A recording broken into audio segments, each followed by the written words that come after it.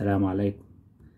آه، أنا معتاد إن أنا بعمل فيديو كل يوم سبت فالنهاردة قلت اعمل لكم فيديو عن حلمي الحلم اللي أنا بحلم بيه واللي خلاني مهتم جدا بمجال تحليل السلوك التطبيقي وإن أنا أدرسه وأتخصص فيه وأبقى يعني certified in behavior analysis يعني من البورد. والله أنا حلمي ويعلم الله إن هذا يعني حلم عندي وإن شاء الله بإذن الله أتمنى إن يوم من ذات الأيام أقدر أحققه أو حد بعديا يقدر يحققه يعني. حلم بكل بساطة إن أنا وأساتذتي اللي هم سبقوني في النجاح في ال board ال BCBAs المصريين المميزين جدا كلهم.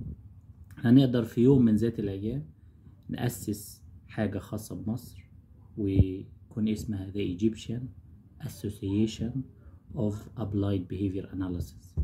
واللي نقدر بيها نعمل سيستم نساعد في نشر الاستراتيجيات الخاصة بتحليل السلوك التطبيقي من متخصصين مش من أي حد عشان نضمن إن إحنا نقدم هذه الخدمة للأطفال وللطلاب وللأمهات وللأسر والناس تستفيد. أتمنى إن الدولة نفسها تستفيد من وجود ال BCBAs وكلهم معهم masters ومعهم شهادات أكثر من رائعة وتقدر إنها تستفيد بيهم في عمل برامج دراسية في الجامعات للأخصائيين اللي بيدرسوا ونقدر إن إحنا ننشر تحليل السلوك التطبيقي في مصر بحيث إن كل طالب أو كل طفل يحتاج إلى تدخل مبكر ياخد تدخل مبكر وحياته هو تختلف وحياة أسرته تختلف. ده الحلم بتاعي اللي أنا بحلم بيه. إن شاء الله أتمنى في يوم من ذات الأيام إن إحنا نقدر نحققه. آه زي ما قلت لكم أساتذتي لأن أنا بعتبر الناس اللي نجحت قبليهم أساتذة ليا بتعلم منهم كلهم طبعا. كلنا بنتعلم من بعض. فأتمنى إن يوم من ذات الأيام نقدر نحقق الحلم ده.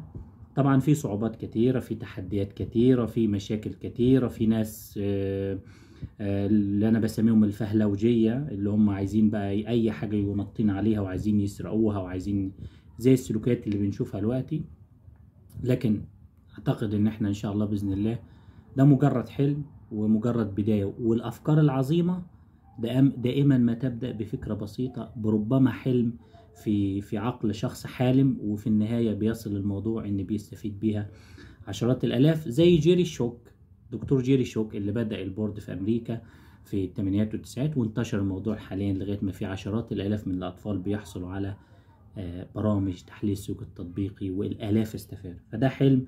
إن شاء الله بإذن الله أتمنى إن يوم من ذات الأيام أشوف هذا الحلم موجود ونقطع الطريق كمان على أي أحد هيحاول إن هو يشوه هذه التدخلات بممارسات غير أخلاقية. وندي فرصة للخريجين الجداد إن هم يقدروا إن هم يتعلموا أكتر خاصة من المختصين المتخصصين اللي درسوا وتعبوا وتخصصوا. دي تبقى حاجة عظيمة. وده حلم. أتمنى ادعوا معايا كده إن ربنا يحقق الحلم الجميل ده. شكرا ليكم. السلام عليكم.